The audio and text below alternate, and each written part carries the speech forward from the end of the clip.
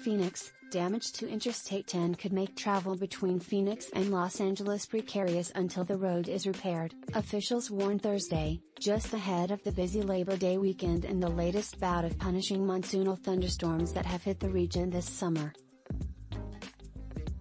The newest round of flooding started Wednesday evening, damaging a roadway that was part of a detour past a repair project along eastbound Interstate 10 near the small community of Desert Center, California, about 165 miles east of Los Angeles.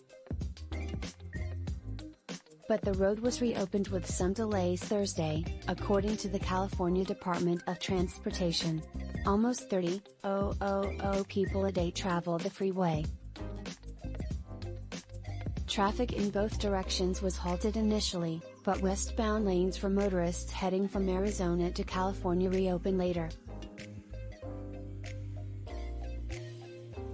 Here's what we know about the damaged highway right now that section of road, between State Route 177 and the California-Arizona border, is undergoing heavy construction, and before the storm, drivers were routed to a bypass to allow for the work.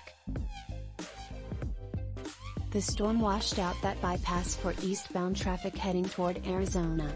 Almost 30,000 people a day travel the freeway. The area got about three quarters of an inch of rain Wednesday evening, according to the National Weather Service but the main roadway has a usable eastbound lane, which was reopened Thursday morning, according to Caltrans.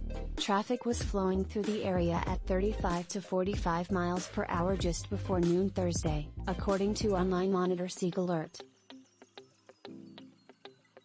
Officials had no estimate on how long it would take to rebuild the eastbound lanes, which means travelers heading from California to Arizona could see continued delays. The washout recalls a similar flash flood in 2015 that took out eastbound lanes of the Tex Wash Bridge on I-10 west of Blythe, stranding hundreds of drivers and forcing lengthy detours throughout the week.